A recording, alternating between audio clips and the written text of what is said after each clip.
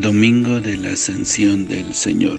Del Evangelio según San Mateo, capítulo 28, versículo del 16 al 20.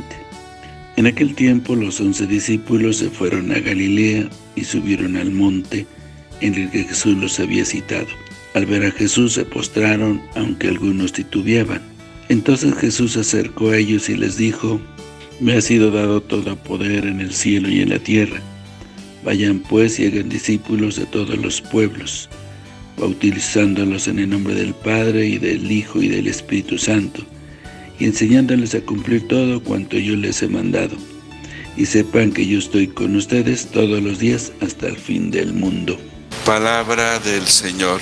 Gloria a ti, Señor Jesús. Los once discípulos se fueron a Galilea y subieron al monte en el que Jesús los había citado.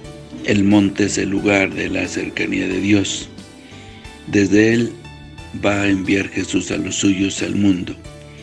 Se postraron al aceptarlo como Señor, aunque algunos vacilan porque aún no tienen la fe suficiente para asumir el destino de Jesús con todas sus implicaciones, imprevisibles consecuencias.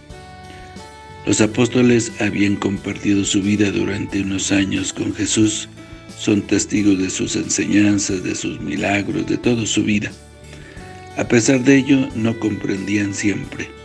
Jesús resucitado ha recibido del Padre pleno poder sobre toda la realidad, fruto de su entrega total. Un poder que es servicio, aunque se fundamente en el amor. Y les dijo, vayan pues y hagan discípulos a todos los pueblos. Los discípulos deben tomar el relevo de su obra. Esta es la razón de la Iglesia, continuar con fidelidad el camino marcado por Jesús.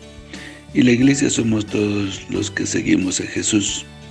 La misión a la que envía Jesús a sus seguidores es universal y consiste en hacer discípulos a todos los pueblos, bautizándoles en nombre del Padre, Hijo y el Espíritu Santo, y enseñándoles a cumplir todo lo que yo les he mandado.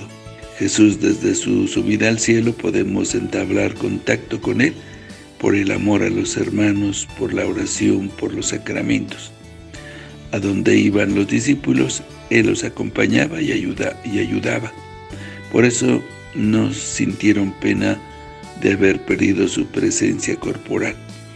Ellos se postraron, dice al final, ante Él y se volvieron a Jerusalén muy contentos y pasaban el tiempo en el templo bendiciendo a Dios, dice San Lucas.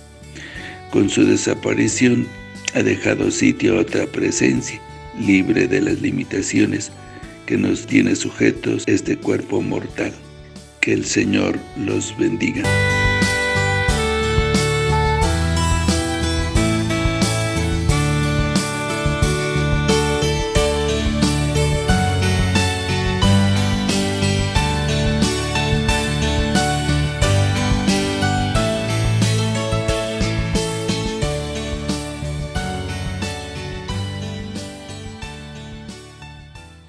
La bendición de Dios Todopoderoso, Padre, Hijo y Espíritu Santo, descienda sobre ustedes, que los acompañe siempre.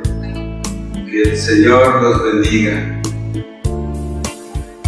Si te gustó este video y deseas seguir recibiendo el Evangelio, misa en vivo, oraciones y muchas reflexiones más, ayúdanos a seguir creciendo. Suscríbete a este canal de YouTube, activa la campana de notificaciones, deja tu comentario, dale me gusta y compártelo con todos tus seres queridos. Que el Señor te bendiga a ti y a toda tu familia. Bendiciones.